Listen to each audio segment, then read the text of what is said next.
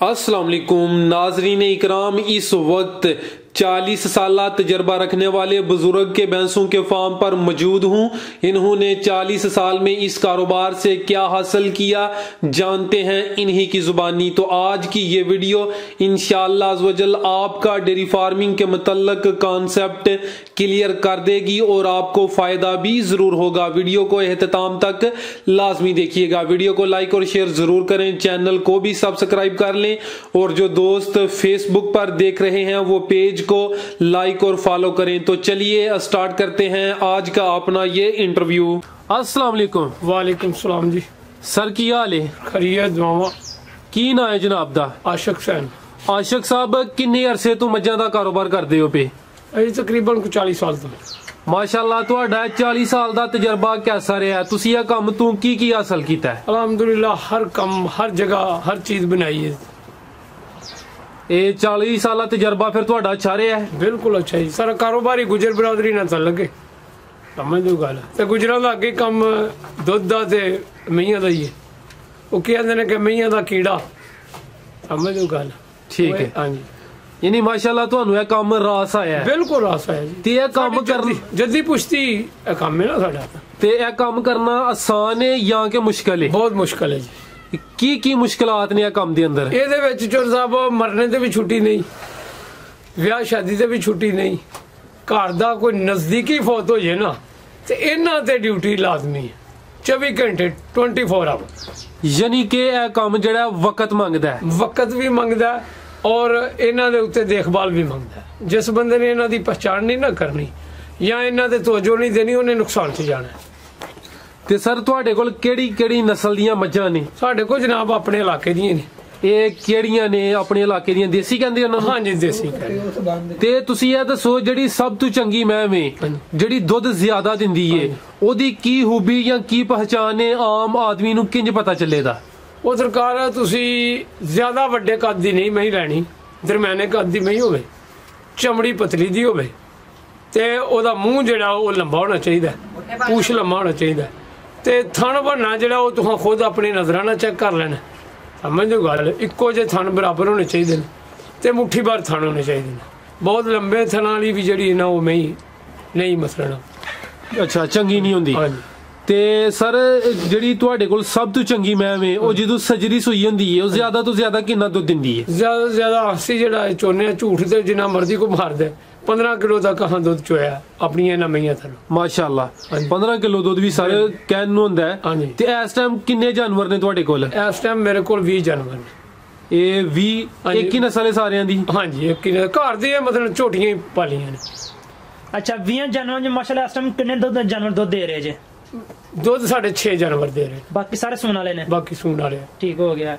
ਮਾਸ਼ਾਅੱਲਾ ਦੋਵਾਂ ਟਾਈਮਾਂ ਦਾ ਕਿੰਨਾ ਦੁੱਧ ਜਾ ਰਿਹਾ ਜੀ 50 ਕਿਲੋ। 50 ਕਿਲੋ ਦੋਵਾਂ ਟਾਈਮਾਂ ਦਾ? ਦੋਵਾਂ ਟਾਈਮ।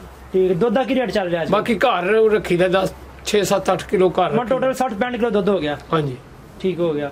ਅੱਛਾ। 10 ਕਿਲੋ ਦੀ ਐਵਰੇਜ ਨਾਲ ਸਾਡੇ ਡੰਗਰ ਇਸ ਟਾਈਮ ਦੁੱਧ ਦੇਣ ਦੇ ਹੂੰ ਹੂੰ। ਅੱਗੋਂ ਅੱਜ ਕੱਲ੍ਹ ਮੌਸਮ ਸਰਦੀ ਵੀ ਨਾ। ਹਾਂ ਸਰਦੀ ਵੀ ਹੈ ਪੱਠਾ ਘੱਟ ਹੈ ਹਾਂਜੀ। ਬੰਦੇ ਨਾਲ ਇਹ ਤੇ ਥੋੜਾ ਜਿਹਾ ਵੰਡਾ ਇਸਤੇਮਾਲ ਕਰਨੇ ਆ ਨਾ ਫਿਰ ਨਾਲ। ਮੰਡਾ ਕਰਾ ਇਸਤੇਮਾਲ ਕਰਵਾਉਂਦੇ ਹੋ ਨਾ? ਅਹੀ ਵੰਡਾ ਬੜੇਵੇਂ ਦੀ ਖਲ ਤੇ ਕਰਾ ਚੋਖਰ। ਇੱਕ ਜਾਨਵਰ ਨੂੰ ਕਿੰਨਾ ਮੰਡਾ ਇਸਤੇਮਾਲ ਕਰਵਾ ਰਹੇ ਹੋ? ਤਕਰੀਬਨ ਅਸੀਂ ਸਰਕਾਰ ਮੇਰੀ 2.5 ਕਿਲੋ ਜ਼ਿਆਦਾ ਨਹੀਂ। ਆ ਨਾਰਮਲ ਬਸਰੇ ਹੀ ਰੱਖਨੇ ਆ ਅੱਛਾ ਜਿਸ ਦਿਨ ਪੱਠੇ ਹੋ ਜਾਣੇ ਨੇ ਉਹ ਵੀ ਖਤਮ ਕਰ ਦੇਣਾ। ਅੱਛਾ ਤੁਸੀਂ ਦੱਸਿਆ ਵੇ ਕਿ ਤਕਰੀਬਨ 60 65 ਕਿਲੋ ਰੋਜ਼ਾਨਾ ਦੁੱਧ ਹੋ ਜਾਂਦਾ ਵੇ। ਇਹਦੇ ਵਿੱਚੋਂ ਬਚਤ ਕਿੰਨੀ ਜੇ ਤੇ ਅਖਰਾਜਾਤ ਕਿੰਨੇ ਜੇ? ਜਨਾਬ ਇਦੋਂ ਪਿਛਾਂ ਤੇ ਅਖਰਾਜਾਤ ਹੀ ਹਮ ਪੂਰਾ ਪੂਰੀ ਕੰਮ ਚੱਲਦਾ ਸੀ। ਹੁਣ ਅਲਹਮਦੁਲਿਲਾ ਬੱਚਤ ਆਉਣ ਲੱਗ ਪਈ। ਕਿਉਂਕਿ ਵੰਡਾ ਘਟਾ ਦਿੱਤਾ। ਪਹਿਲੇ ਇੱਕ ਜਾਨਵਰ ਨੂੰ 5 ਕਿਲੋ ਵੰਡਾ ਜਾਣ ਲਿਆ ਸੀ। ਸੁੱਕਾ ਹੀ ਨਾ ਸਾਰਾ। ਤੇ ਹੁਣ ਹਰਾ ਨਾਲ ਟੁਰ ਪਿਆ ਜਿਹਦੀ ਵਜ੍ਹਾ ਹੁਣ ਬੱਚਤ ਆਣੀ ਸ਼ੁਰੂ ਹੋ ਗਈ। ਅੱਛਾ ਇੱਕ ਡੰਗਰ ਅਗਰ ਜਿਹੜਾ ਇੱਕ ਮੱਝ ਉਹ ਮਿਸਾਲ ਦੇ ਤੌਰ ਤੇ 10 ਕਿਲੋ ਅਗਰ ਦੁੱਧ ਦਿੰਦਾ ਦਾ। ਹਾਂਜੀ। ਉਹਦੇ ਵਿੱਚ ਬਚਤ ਕਿੰਨੀ ਆ ਜਾਂਦੀ ਹੈ ਤੇ ਅਖਰਾਜਾਤ ਉਹਦੇ ਤੇ ਕਿੰਨੇ ਆ ਜਾਣਗੇ? ਜਿੰਨੇ ਜਾਨਵਰ ਘੱਟ ਰੱਖੋਗੇ ਅਖਰਾਜਾਤ ਵਧਣਗੇ। ਹਾਂ ਹਾਂ, ਜਿੰਨੇ ਜਾਨਵਰ ਘੱਟ ਰੱਖੋਗੇ ਅਖਰਾਜਾਤ ਵਧਣਗੇ ਸਹੀ ਹੈ। ਤੇ ਤੁਹਾਨੂੰ ਬਚਤ ਘੱਟ ਆਏਗੀ। ਮੱਝ ਇੱਕ ਟਾਈਮ ਦਾ ਦੁੱਧ ਬਚਾਈ ਜਾਂਦੀ ਹੈ ਕਿ ਨਹੀਂ? ਮੱਝ ਉਹ ਇੱਕ ਘਰ ਦਾ ਬਚਾਉਣਾ ਜਿਹੜਾ 2 ਕਿਲੋ ਘਰ ਰੱਖਣਾ। ਬਸ। ਬਸ। ਠੀਕ ਹੋ ਗਿਆ। ਅਗਰ ਇੱਕ ਦੋ ਤੁਹਾਂ ਰੱਖਣੀ ਹੈ। ਇਹ ਸਾਡੀਆਂ 5-7 ਜਿਹੜੀਆਂ ਨਾਲ 10 ਜਾਨ 6 ਜਾਨਵਰ ਦੇਣੇ ਬਾਕੀ ਸਾਰੀਆਂ ਦਾ ਪੇਟ ਪਾਲਦੀਆਂ ਨੇ ਪਈਆਂ। ਨਾਲ ਆਪਣਾ ਤੁਹਾਡਾ ਵੀ ਤੇ ਨਾਲ ਇਹਨਾਂ ਨਾਲ ਦਾ ਵੀ। ਸਹੀ ਹੈ ਸਹੀ ਹੈ। ਤੇ ਹਾਲਾਂਕੇ ਦੁੱਧ ਅਸੀਂ ਆਪਣੇ ਇੱਥੇ ਦੇਸ਼ਾਂ ਨੇ ਡੇਰੀ ਤੇ ਰੇਟ ਦੇ ਰਹੇ ਹੋ? ਅਸੀਂ ਇਸ ਟਾਈਮ 80 ਰੁਪਏ ਦੇ ਰਹੇ ਹਾਂ। ਇੱਥੇ ਦੁੱਧ ਹੀ ਆ ਕੇ ਲੈ ਕੇ ਜਾਂਦਾ। ਹਾਂਜੀ ਦੁੱਧ ਹੀ ਆ। ਆਪਣਾ ਹੀ ਮੁੰਡਾ। ਅੱਛਾ ਕੱਢਦਾ। ਇਸ ਟਾਈਮ ਜਿਹੜਾ ਜਾਨਵਰਾਂ ਦੀ ਤੁਸੀਂ ਸਵੇਰ ਤੋਂ ਲੈ ਕੇ ਸ਼ਾਮ ਤੱਕ ਕੀ ਰੁਟੀਨ ਰੱਖੀ ਹੈ ਆਪਣੇ ਜਾਨਵਰਾਂ ਦੀ? ਅਸੀਂ- ਕੀ ਖਿਲਾਉਂਦੇ ਪਿਲਾਉਂਦੇ ਇਹਨਾਂ ਸਵੇਰ ਤੋਂ ਲੈ ਕੇ ਸ਼ਾਮ ਤੱਕ? ਅਸੀਂ ਸਰਗੀ 3 ਵਜੇ ਉੱਠ ਪੈਣਾ। ਠੀਕ ਹੈ ਤੇ ਇਹਨਾਂ ਨੂੰ ਬਸ ਧਾਰਾਂ ਸ਼ਾਰਾਂ ਕੱਢ ਕੇ ਸਵੇਰੇ 7 ਵਜੇ ਇਹਨਾਂ ਨੂੰ ਪਾਣੀ ਛੰਡਾ ਕੇ ਤੇ ਬਾਹਰ ਪਿੱਛੇ ਬੰਨ ਦੇਣਾ। ਅੱਛਾ। ਠੀਕ ਹੈ ਉਸ ਤੋਂ ਬਾਅਦ ਰਾਈਟ ਟਾਈਮ ਡੇਢ ਪੌਣੇ 2 ਵਜੇ ਫਿਰ ਇਹਨਾਂ ਨੂੰ ਪੱਠਿਆਂ ਤੇ ਪਾ ਦੇ ਬੰਨ ਦੇਣਾ। ਜ਼ਬਰਦਸਤ। ਸਮਝਦੇ ਹੋ? 3:30 ਵਜੇ ਧਾਰਾਂ ਸ਼ੁਰੂ ਕਰ ਦੇਣੀਆਂ ਨੇ। ਸਵੇਰ ਵੀ 3:30 ਤੇ ਸ਼ਾਮ ਨੂੰ ਵੀ 3:30 ਅੱਛਾ ਮਾਸ਼ਾਅੱਲਾ ਤੁਸੀਂ 20 ਜਾਨਵਰ ਰੱਖੇ ਨੇ। ਇਹਨਾਂ 20 ਜਾਨਵਰਾਂ ਤੇ ਜਿਹੜੇ ਨੇ ਉਹ ਮੁਲਾਜ਼ਮ ਜਾਂ ਬੰਦੇ ਕਿੰਨੇ ਰੱਖੇ ਜੇ? ਇਸ ਟਾਈਮ ਜਨਾਬ ਅਸੀਂ ਅਭੀ ਖੁਦ ਕਿੰਨੇ ਬੰਦੇ ਕੰਮ ਕਰ ਰਹੇ ਹੋ? ਅਸੀਂ ਤਿੰਨ ਮੇਰੇ ਦੋ ਮੇਰੇ ਬੇਟੇ ਨੇ ਤੀਸਰਾ ਮੈਂ। ਜ਼ਬਰਦਸਤ। ਅੱਛਾ ਜਿਹੜਾ ਚਾਰਾ ਵਗੈਰਾ ਉਹ ਕੀ ਇਸਤੇਮਾਲ ਕਰਵਾ ਰਹੇ ਹੋ ਅੱਜ ਕੱਲ ਇਹਨਾਂ ਨੂੰ? ਸਟਾਲਾ। ਸਟਾਲਾ? ਤੇ ਸੁੱਕੇ ਚ?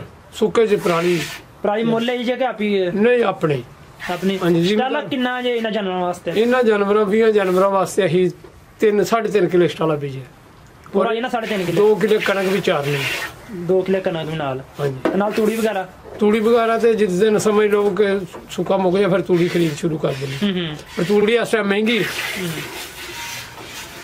ਅੱਛਾ ਸਰ ਤੁਸੀਂ ਜ਼ਿਕਰ ਕੀਤਾ ਹੈ ਕਿ ਅਗਰ ਜਾਨਵਰ ਕਮ ਹੋਣ ਤੇ ਫਿਰ ਫਾਇਦਾ ਜ਼ਿਆਦਾ ਨਹੀਂ। ਬਿਲਕੁਲ। ਜਾਨਵਰ ਜ਼ਿਆਦਾ ਰੱਖੋ। ਹਾਂਜੀ। ਇਹ ਤੁਸੀਂ ਇਹ ਜਿਹੜੀ ਕਮ ਗੱਲ ਸੇ ਕਮ 10 ਕਮ ਸੇ ਕਮ 10 ਕਮ 10 ਜਾਨਵਰ ਹੋਣੇ ਚਾਹੀਦੇ ਨੇ।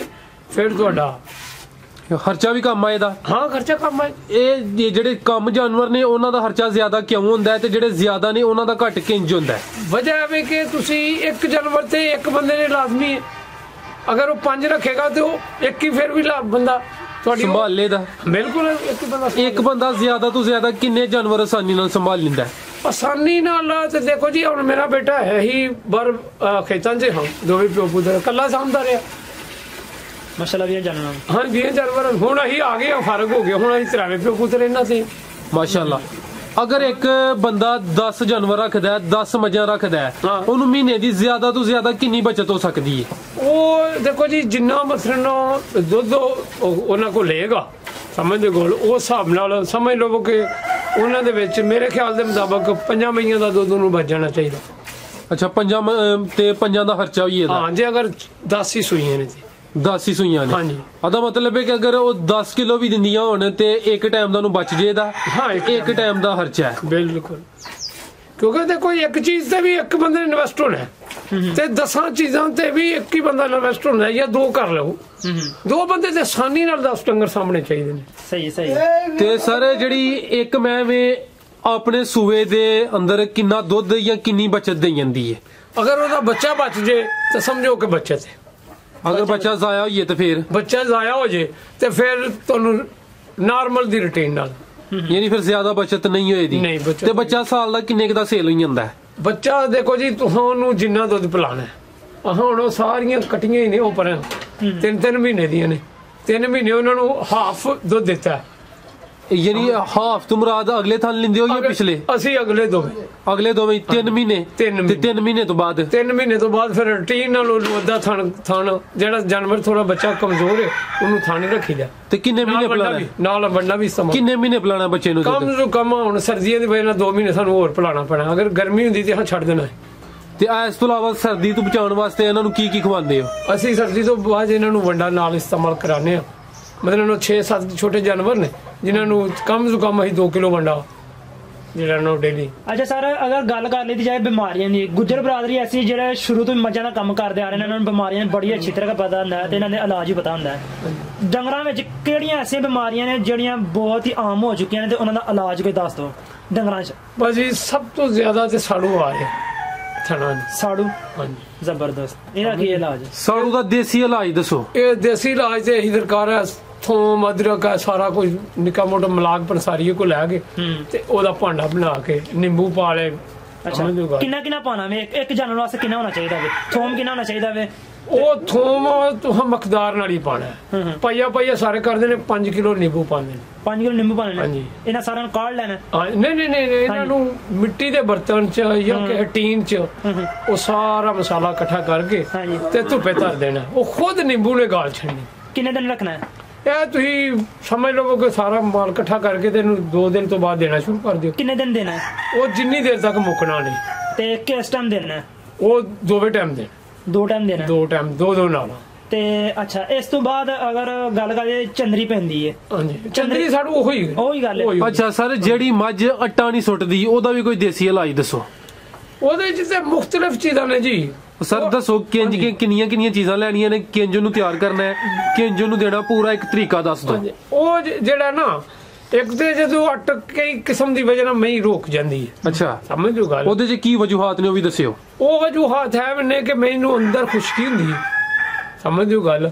ਤੇ ਮੈਂ ਅਟਾ ਨਹੀਂ ਚਾਲੂ ਤੇ ਕਰਦੀ ਹੋਰ ਕਿਹੜੀ ਵਜ੍ਹਾ ਹੈ? ਦੂਸਰੇ ਨੰਬਰ ਤੇ ਕਿ ਕਿਸ ਟਾਈਮ ਐਸਾ ਹੁੰਦਾ ਕਿ ਮੈਂ ਅੰਦਰ ਜੇ ਰੱਖ ਜਾਂਦੀ ਹੈ ਫਿਰ ਵੀ ਉਹ ਮੈਂ ਪਣਾ ਮਾਰੇਗੀ ਅਟ ਨਹੀਂ ਸੁੱਟੇਗੀ। ਸਮਝ ਜੋ ਗੱਲ। ਅਗਰ ਮੈਂ ਇਹਨੇ ਖੁਸ਼ਕੀ ਨਾਲ ਕੀਤਾ ਹੈ, ਜੀ। ਤਾਂ ਸਮਝ ਜੋ ਗੱਲ। ਤੇ ਇਹਨੂੰ ਕੋਈ ਤਰ ਚੀਜ਼ਾਂ ਦਿਓ ਤੁਸੀਂ। ਸਮਝ ਗੱਲ। ਕੌੜੀ ਖਾਲ ਅੱਛਾ। ਕੌੜੀ ਖਾਲ ਪਿਲਾਓ ਗਰਮੀਆਂ ਨੇ ਅਗਰ। ਸਮਝ ਗੱਲ। ਹੋਰ? ਤੇ ਨਹੀਂ ਤੇ ਇਹਨੂੰ ਦੁੱਧ ਘਿਓ ਦਾ ਕਾੜਾ ਦੇ ਦਿਓ। ਗੁੜ ਲਾਜ਼ਮੀ ਉਹਦੇ ਵਾਸਤੇ। ਕਿੰਨਾ? ਗੁੜ ਤੁਸੀਂ 2 ਕਿਲੋ ਦੇਵੋ। ਹੂੰ ਹੂੰ। ਮਤਲਬ ਨਾਲ 3 ਕਿਲੋ ਵੀ ਦੇ ਸਕਦੇ ਹੋ। ਕਈ ਬੰਦੇ ਨੇ 5 ਕਿਲੋ ਵੀ ਦਿੰਦੇ ਨੇ। ਉਹ ਅੱਛਾ। ਮਹੀਂ ਦੀ ਮਕਦਾਰ ਦੇ ਹਿਸਾਬ ਨਾਲ ਵੇਖਣਾ ਪੈਂਦਾ ਕਿ ਕਿੰਨਾ ਕੁ ਸਾਰੇਗੀ ਜਾਂ ਕਿਸ ਹਿਸਾਬ ਨਾਲ ਕਰੇਗੀ। ਅੱਛਾ ਸਰ ਇੱਕ ਮੱਝ ਜਿਹੜੀ ਦੁੱਧੋਂ ਨਹੀਂ ਟੁਰਦੀ ਕੋਈ ਜਵੈਣ ਸੌਂਫ ਸੋਏ ਗੁੜ ਇਹਦੀਆਂ ਪਿੰਨੀ ਬਣਾ ਕੇ ਦਿਓ। ਤੇ ਤਦ ਵੀ ਅੱਟ ਚਾਲੂ ਕਰ ਲੇਗੀ। ਪੁਰਾਣੀ ਤੋਂ ਪੁਰਾਣੀ ਅੱਟ ਚ ਚਾਲੂ ਕਰ ਲੈ ਜਿਹੜੀ ਮੱਝ ਦੁੱਧੋਂ ਨਹੀਂ ਟੁਰਦੀ ਕੋਈ ਵੀ ਉਹ ਸੁਆ ਕਰਕੇ ਦੁੱਧ ਨਹੀਂ ਟੁਰਦੀ ਉਹਦਾ ਕੀ ਇਲਾਜ ਹੈ? ਉਹਦੇ ਚ ਦੇਖੋ ਜੀ ਅਸੀਂ ਤੇ ਉਹਨਾਂ ਸਾਡੀ ਝੋਟੀ ਹੈ 2 ਲੱਖ ਦੀ ਹਲਿਆਂ ਦੀ ਹਾਂਜੀ। ਸਮਝ ਦਿਓ ਗੱਲ ਬਿਲਕੁਲ ਬੇਕਾਰ ਸੀ। ਆਹਾਂ ਦੇ ਨੂੰ ਦੁੱਧ ਸ਼ੱਕਰ ਦਹੀਂ ਦੀ ਸਾਥ ਦੁੱਧ ਸ਼ੱਕਰ ਸ਼ੱਕਰ ਤੇ ਦਹੀਂ। ਦਹੀਂ। ਸਮਝ ਦਿਓ ਗੱਲ ਤੇ ਕਿੰਨਾ ਬਰਫ਼। ਆਹ ਤਕਰੀਬਨ ਸਮਝ ਲਓ ਕਿ ਇਹਨੂੰ ਅੱਧਾ ਕਿਲੋ ਦਹੀਂ ਪਾ ਲਿਆ ਸੀ। ਠੀਕ ਹੈ। ਤੇ ਅੱਧਾ ਕਿਲੋ ਹੀ ਸ਼ੱਕਰ ਪਾ ਲਈ ਹੂੰ। ਸਮਝ ਜੋ ਗੱਲ। ਉਹਦੇ 'ਚ ਇੱਕ ਕੌਲਾ ਬਰਫ਼ ਦਾ ਸੁੱਟ ਕੇ ਹੂੰ। ਤੇ ਇਹਨੂੰ ਤਿੰਨ ਚਾਰ ਦਿਨ ਦਿੱਤਾ। ਇਹ ਅਲਹਮਦੁਲਿਲਾ ਦੁੱਧੋਂ ਉੱਠ ਪਈ। ਤੇ ਸਮਝ ਸਰ ਜਿਹੜੀ ਮੈਂ ਉਹ ਸੁਣ ਬਿਮਾਰੀ ਦੇ ਵਜੂ ਹੱਥ ਨਾਲ ਚੀਜ਼ਾਂ ਦੇਣੀਆਂ ਪੈਂਦੀਆਂ ਨੇ। ਸਮਝ ਜੋ ਗੱਲ। ਕਿਸ ਵਜ੍ਹਾ ਨਾਲ ਮਨੀ ਦੁੱਧੋਂ ਮਤਲਬ ਅੰਦਰੋਂ ਖੁਸ਼ਕ ਹੈ ਤੇ ਉਹਨੂੰ ਕਾੜਾ ਦੇ ਦਿਓ? ਸਮਝ ਜੋ ਗੱਲ। ਉਹਦੇ ਵਾਸਤੇ ਦਹੀਂ ਤੇ ਸ਼ੱਕਰ ਬਹੁਤ ਜ਼ਰੂਰੀ ਹੈ। ਸਮਝ ਅੱਛਾ ਇਹ ਦੱਸੋ ਜਿਹੜੀ ਮੱਝ ਸੂਣ ਵਾਲੀ ਹੁੰਦੀ ਹੈ ਉਹਨੂੰ ਸੂਣ ਤੋਂ ਪਹਿਲੇ ਕੀ ਕੀ ਤੇ ਕਿਹੜੇ ਮੌਸਮ 'ਚ ਦੇਣਾ? ਹੈ ਦੇਖੋ ਜੀ, ਜੇ ਤੇ ਗਰਮੀਆਂ ਨੇ ਅਸੀਂ ਤੇ ਦੁੱਧ ਘਿਓ ਦਾ ਝੋਲ ਲਾਜ਼ਮੀ ਦੇਨੇ ਆ ਦੇਸੀ ਘਿਓ। ਲੋਕੀ ਡਾਟਾ ਦਿੰਦੇ ਨੇ ਅਸੀਂ ਆਪਣੇ ਘਰ ਦਾ ਦੇਸੀ ਘਿਓ ਰੱਖਿਆ ਹੁੰਦਾ। ਚਾਹੇ ਸਰਦੀ ਹੋਏ ਚਾਹੇ ਗਰਮੀ ਹੋਏ। ਚਾਹੇ ਸਰਦੀ ਹੋਵੇ ਚਾਹੇ ਗਰਮੀ ਹੋਵੇ ਤੇ ਸੂਣ ਤੋਂ ਕਿੰਨੇ ਦਿਨ ਪਹਿਲੇ ਦਿੰਦੇ ਹੋ? ਉਹ ਸੁਣ ਤੋਂ ਹੀ ਕੋਸ਼ਿਸ਼ ਕਰਨੀ ਚਾਹੀਦੀ ਕਿ ਅਗਰ ਮੈਂ ਬਣਾਣੀ ਹੈ ਤੇ ਫਿਰ ਇੱਕ ਮਹੀਨਾ ਪਹਿਲੇ ਸ਼ੁਰੂ ਕਰੋ। ਤੇ। ਰੋਜ਼ਾਨਾ ਹੀ ਦਿੰਦੇ ਨਹੀਂ ਹੋ ਨਹੀਂ। ਦੋ ਤਿੰਨ ਦਿਨ ਤੋਂ ਬਾਅਦ ਇੱਕ ਪਈਆ ਘਿਓ ਲੈ ਕੇ ਕਿਲੋ ਡੇਢ ਦੁੱਧ ਲੈ ਲਵੋ ਉਹਦੇ ਚ ਕਿਲੋ ਗੁੜ ਪਾ ਲਵੋ ਉਹਨੂੰ ਝੋਲ ਬਣਾ ਕੇ ਉਹਨੂੰ ਚੌਥੇ ਦਿਨ ਤੀਸਰੇ ਗਰਮੀ ਤੇ ਸਰੋਂ ਦਾ ਤੇਲ ਬਹੁਤ ਜ਼ਰੂਰੀ ਹੈ ਮਤਲਬ ਮਾਸ਼ਾਅੱਲਾ ਦੀ। ਤੁਸੀਂ ਕਾਫੀ ਕੀਮਤੀ ਗੱਲਾਂ ਦਸੀਆਂ ਨੇ। ਤੁਹਾਡੇ ਕਾਰੋਬਾਰ ਦੇ ਮੁਤਲਕ ਕੋਈ ਐਸੀ ਗੱਲ ਜਿਹੜੀ ਕੀਮਤੀ ਹੈ ਸਾਡੇ ਨਾਜ਼ਰੀਨ ਨੂੰ ਵੀ ਦੱਸ ਦਿਓ ਜਿਹੜੀ ਆਹ ਨਹੀਂ ਪੁੱਛੀ। ਇਹਦੇ ਵਾਸਤੇ ਜੀ ਜਿਸ ਵੀ ਬੰਦੇ ਨੇ ਕੰਮ ਹੈ ਸ਼ੁਰੂ ਕਰਨਾ ਨਾ। ਸਭ ਤੋਂ ਮੇਨ ਚੀਜ਼ ਹੈ ਕਿ ਆਪਣੇ ਜਾਨਵਰ ਤੰਦਰੁਸਤ ਲਵੇ ਉਹਨਾਂ ਤੇ ਪ੍ਰੋਪਰ ਬੰਦਾ ਰੱਖੇ। ਸਮਝੋ ਗੱਲ। ਐ ਨਾ ਹੋਵੇ ਕਿ ਮਾਲਕ ਕਿਤੇ ਗਿਆ ਹੋਵੇ ਤੇ ਉਹਨਾਂ ਪਾਣੀ ਨਾ ਪਿਲਾਇਆ ਜਾਏ। ਸਮਝੋ ਗੱਲ। ਟਾਈਮ ਨਾਲ ਪੱਠੇ ਨਾ ਪਾਇਆ ਜਾਣ। ਹੁਣ ਇੰਨਾ ਖਰਚਾ ਕਰਕੇ ਤੇ ਅੱਗੋਂ ਮਤਲਬ ਬੰਦਾ ਐਸਾ ਕਰੇ ਕਿ ਉਹਨਾਂ ਦੀ ਦੇਖਭਾਲ ਤੋਂ ਮਤਲਬ ਉਹਨਾਂ ਨੂੰ ਜਿਸ ਤਰ੍ਹਾਂ ਹੀ ਆਇਆ ਸਾਡਾ ਤਾਏ ਦੇ ਬੇਟੇ ਨੇ 84 ਲੱਖ ਦਾ ਲਿਆ। ਹਾਂਜੀ। ਤੇ ਉਹਨਾਂ ਕਮ ਸੇ ਕਮ 2 ਕਰੋੜ ਦੇ ਜਾਨਵਰ ਲਏ ਨੇ। ਢਾਈ ਢਾਈ ਤਿੰਨ ਤਿੰਨ ਲੱਖ ਦੀ ਮਹੀਂ ਲੈ ਕੇ ਤੇ ਇਸ ਟਾਈਮ ਉਹਨਾਂ ਸਵਾ ਲੱਖ ਚ ਨਗ ਦਿੱਤਾ ਹੈ। ਨਾਲ ਪ- 12 ਕਿਲੇ ਸਟਾਲਾ ਦਿੱਤਾ ਪੰਜੀਆਂ ਕਿਲਿਆਂ ਦੀ ਪਰਾਲੀ ਦਿੱਤੀ ਹੈ। ਨਾਲ ਕੋਈ ਦੂ ਢਾਈਆਂ ਕਿਲਿਆਂ ਚ ਡੇਰਾ ਦਿੱਤਾ ਸ਼ੈੱਡ ਬਣਿਆ। 15 ਮਹੀਨੇ ਉਹ ਫ੍ਰੀ ਟਰਾਲੀ ਟਰੈਕਟਰ ਨਾਲ ਫ੍ਰੀ ਦਿੱਤਾ। ਉਹਨਾਂ ਨੂੰ ਪੱਠੇ ਪਾਉਣੇ ਨੇ ਕਿੰਨਾ ਨੁਕਸਾਨ ਕੀਤਾ ਸਿਰਫ ਮੁਲਾਜ਼ਮਾਂ ਦੇ ਸਿਰ ਤੇ ਆ ਅੱਛਾ ਸਰ ਜਿਹੜੇ ਦੋਸਤ ਹੈ ਵੀਡੀਓ ਵੇਖਦੇ ਨੇ ਪਏ ਖਾਸ ਕਰ ਜਿਹੜੇ ਨੌਜਵਾਨ ਇਹ ਕਾਰੋਬਾਰ ਕਰਨਾ ਚਾਹੁੰਦੇ ਨੇ। ਹਾਂਜੀ। ਉਹਨਾਂ ਨੂੰ ਕੋਈ ਅੱਛਾ ਜਿਹਾ ਮਸ਼ਵਰਾ ਦੇ ਹੜੋ ਜਿਹੜਾ ਸਦਕਾ ਜਾਰੀਆ ਬਣ ਜੇ। ਜਨਾਬ ਸਭ ਤੋਂ ਅੱਛਾ ਤੇ ਇਹ ਵੇ ਕਿ ਦੇਖੋ ਜੀ ਇਹ ਜਾਨਵਰ ਦੀ ਦੇਖਭਾਲ ਕਰਨਾ ਹੀ ਸਦਕਾ ਜਾਰੀ ਹੈ ਬਿਲਕੁਲ ਜ਼ਬਰਦਸਤ। ਇਹਨੂੰ ਟਾਈਮ ਨਾਲ ਪਾਣੀ ਡਾਣਾ ਕਿਉਂਕਿ ਬੇਜ਼ੁਬਾਨ ਹੈ। ਇਹਨੂੰ ਟਾਈਮ ਨਾਲ ਪਾਣੀ ਡਾਣਾ ਟਾਈਮ ਨਾਲ ਪੱਠੇ ਦੇਣੇ ਸਮਝਦੇ ਹੋ ਗੱਲ ਸਰਦੀ ਦੇ ਟਾਈਮ ਨੂੰ ਸਰਦੀ ਤੋਂ ਬਚਾਉਣਾ ਇਹ ਸਦਕਾ ਜਾਰੀ ਹੈ। ਸਮਝਦੇ ਹੋ ਗੱਲ। ਬਹੁਤ ਸ਼ੁਕਰੀਆ ਸਰ। ਹਾਂਜੀ ਇਹ ਸਦਕਾ ਜਾਰੀ ਹੈ ਕਿ ਬੇਜ਼ੁਬਾਨ ਦੀ ਤੁਸੀਂ ਦੇਖਭਾਲ ਕਰਨੀ ਹੈ ਨਾ ਤੇ ਸਭ ਤੋਂ ਵੱਡਾ ਅਜਰ ਹੈ ਹੋ ਗੱਲ ਬਹੁਤ ਸ਼ੁਕਰੀਆ ਸਰ। ਬਹੁਤ ਸ਼ੁਕਰੀਆ ਤੇ ਅਗਰ। ਰੱਖਣ ਦਾ ਸ਼ੌਕ ਹੈ ਤੇ ਇਹਨਾਂ ਦੇ ਸ਼ੌਕ ਦਾ ਮੁੱਲ ਵੀ ਕੋਈ ਨਹੀਂ ਇਹਨਾਂ ਨੂੰ ਬਿਲਕੁਲ ਆਪਣੇ ਬੱਚਿਆਂ ਤੱਕ ਰੱਖੀਏ ਤੇ ਫੇਰ ਹੀ ਇਹਦਾ ਮਜ਼ਾ ਆਉਂਦਾ ਤੇ ਜੇ ਆਖੀਏ ਕਿ ਬਰਾਏ ਨਾਮ ਕਰਨਾ ਕਹਾਂ ਦੱਸਣਾ ਕਿ ਹਾਂ ਸ਼ੈੱਡ ਬਣਾਇਆ ਤੇ ਫਿਰ ਫਾਇਦਾ ਕੋਈ ਨਹੀਂ ਜੀ ਸਰ ਬਹੁਤ ਸ਼ੁਕਰੀਆ ਅੱਲਾ ਹਾਫਿਜ਼